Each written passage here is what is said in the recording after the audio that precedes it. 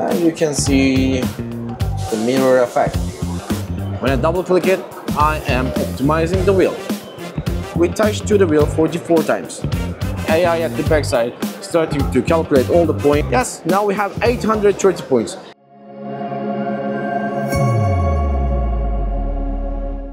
Welcome to Atek TV YouTube channel. This is Ilter. I would like to introduce you new features, the new key features of Elegance Wheel Diamond Cutting Expert TP02HV, the new version of it. Let's start. So as you may remember from the TP01HP, we have four different modes on our main menu. The first one is new, the second one is open, the third one is pre mode, and the fourth one is pro mode. So first I will start with the new mode because we have a, for instance, we have a new wheel here.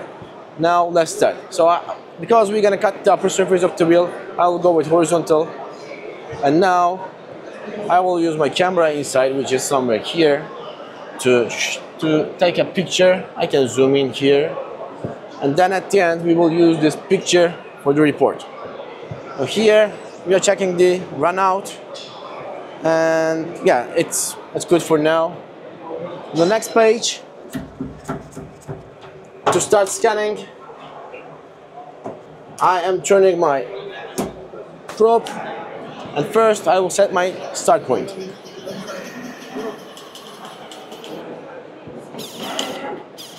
I am using my hand wheel to move the probe stylus to find the start point, a good start point to cut this wheel.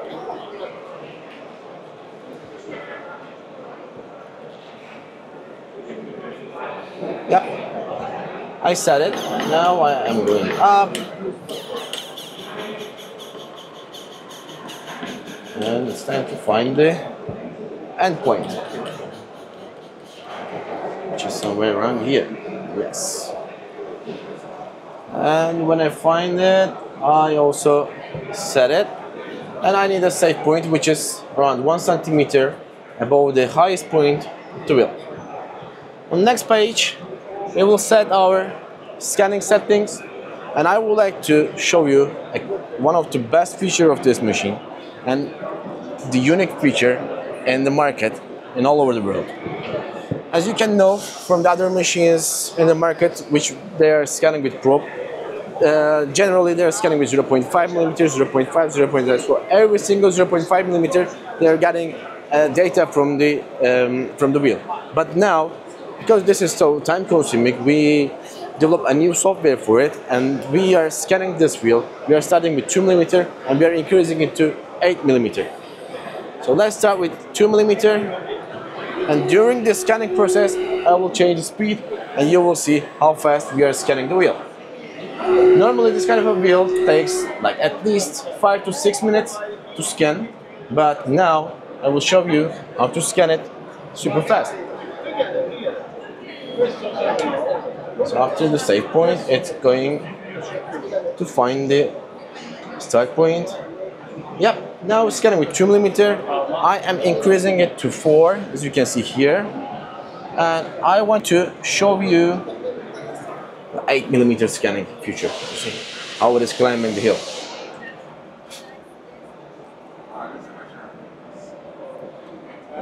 And also I want to show you this it doesn't matter if there is any scratch or if there is any damage here. You see for instance we have a damage there and I will show you how to fix it with the new software of the wheel. And let's imagine we have one more damage here. Oops we have one more damage. And I will show you how to fix these two damages with the help of our new wheel optimization tool OptiWheel which is also unique in the world.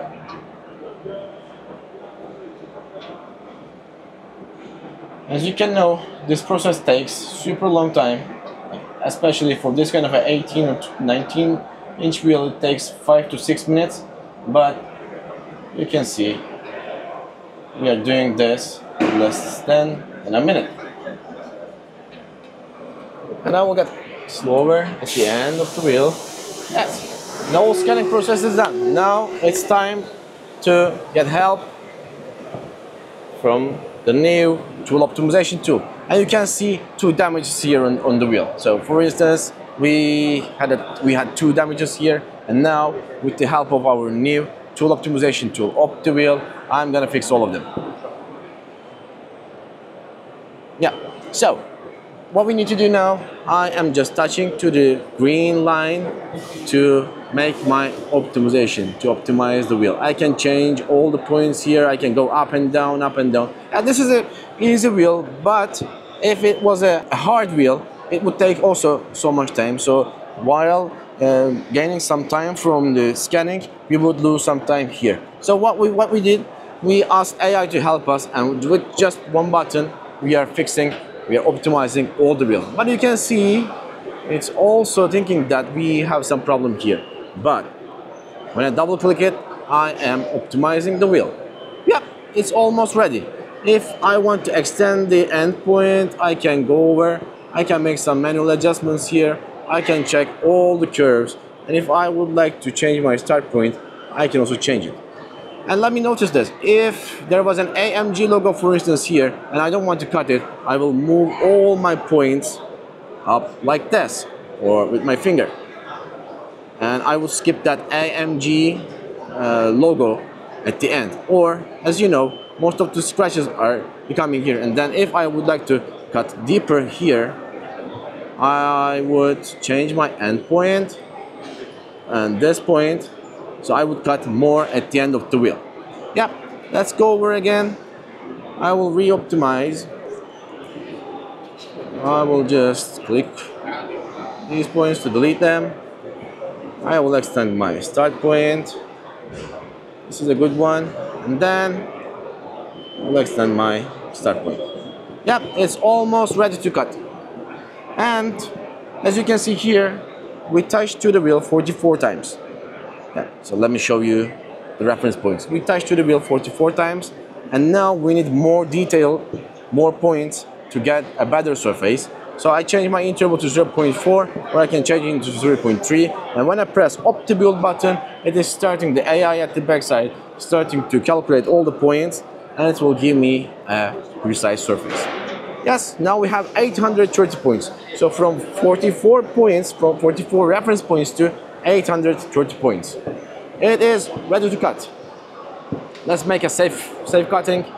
I will increase my speed I will increase my cutting speed to save some time so the cutting tool will go faster. When I press G-code button, it starts to generate the G-code. And I am changing the cutting tool here. Yep. It's almost ready. And on the next step, we have simulation. What is simulation?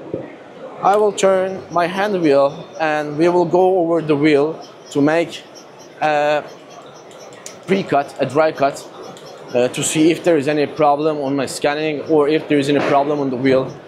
And we spoke one of uh, we scanned one of the spoke here, but that spoke might be lower than the others. So if I start to cut directly, I can damage the other side of the wheel, or I can damage my cutting tool, or I can damage the machine. So I just want to be sure there is no any problem on the wheel, and my scanning is super well, so I can turn the wheel to check if it is all good. Yep, I don't need to finish it. I can stop wherever I want. And then when it is ready, I just need to close the door. I can adjust my air nozzle. I can start to cut. So because I am going minus 0.1 millimeter, I am waiting. Uh, I'm assuming that it will not touch on the wheel and then I will increase the depth. It will start to cut.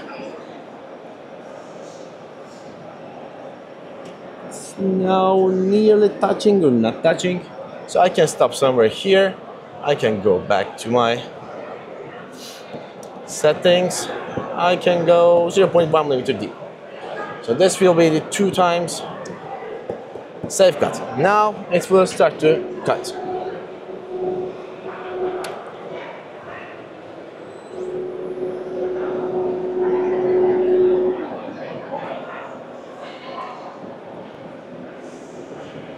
Yes. And I guess you can see the color change on the wheel.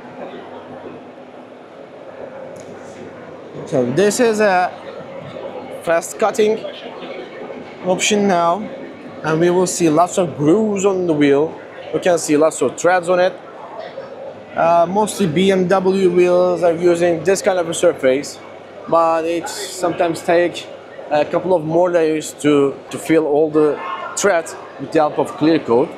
While it is cutting, let me tell you about this. On our new model, we changed the center of gravity of the machine. It gets lower and we have new vibration absorption system on the body and the all vibration goes to the bridge of the machine. And also we changed the x-axis structure uh, and also we have a new shelf here. So it's easy to place everything. Yep, you can see now, I'm not sure if it is possible to see, but maybe I can do like this to, to show you. You can maybe feel, you can maybe hear the sound here. Has lots of thread. Now I will show you how to make it mirror effect. Let me close the door. Yep. Let's go back. Go deeper and change the feed rate to 50. If you would like to increase the spindle speed, you can also do it, but I will not. Of course, these settings are changing in every single wheel, but for this wheel, 50 to 400 spindle is good for me. May I kindly ask you to take a video here and they can see the difference between the right side, the nib cut place, and the left side of the wheel.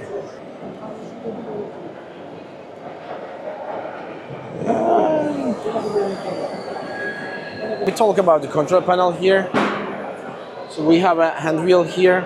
We have on-off button, a USB here. If you would like to uh, plug a keyboard, you can use it. We have a door release button, so when it is working, you cannot open the door even if, if, you, if you press here. And even if you try to open it manually, all the process will stop. We have an interior light turn on and off button. And we have an emergency button for any emergency. Also, you can use the stop button to stop the process. It is super compact. You just need 2.14 meters square to place this machine in your shop. I'm not sure if it is possible to hear or is it possible to see from the video. There is no any vibration on the machine, which affects the surface of the wheel. So we're almost done.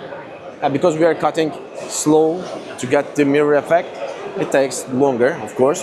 But but I will kind of ask you to show the wheel on the floor, and then you can you can see how does it look like when you I can show it like this and find something colorful mm.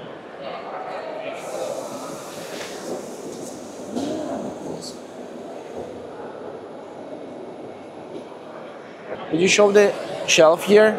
So with the new model TP02H, we have a shelf, we have two shelves here you can store all cutting tools, cutting tips, other tools you need here.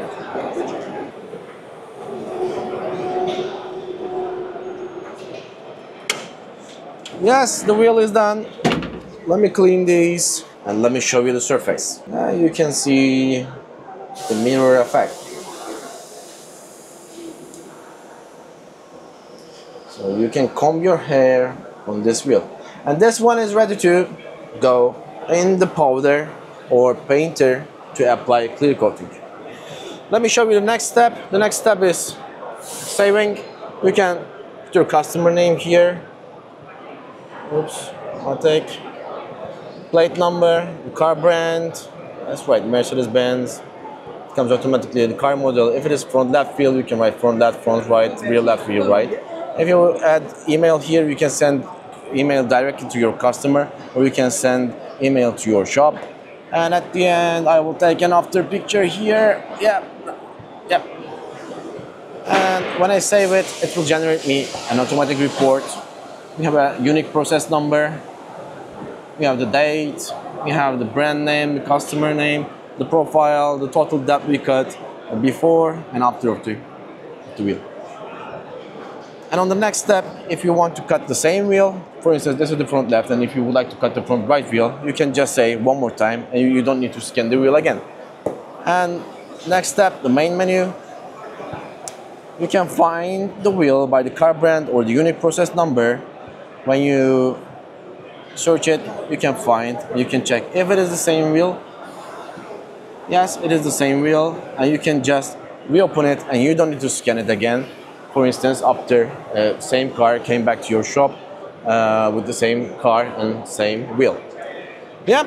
So roughly, I tried to explain everything, all new features, and also, yeah, most of the software. For for the rest of the info, please check below. Have a great day. Bye bye.